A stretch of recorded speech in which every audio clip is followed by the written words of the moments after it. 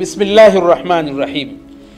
Ya ayuha nabiyu, ewe mtume wa Mwenyezi Mungu, kulli azwajika, waambie wakezo wa banatika, na wanao wa kike wa nisai lmuminina, na wanawake wote wa Kiislamu nini yudnina alaihinna min jalabibihinna, wajifunike shungi zao wasionekane sehemu ambazo ni, mata, ni matamanio.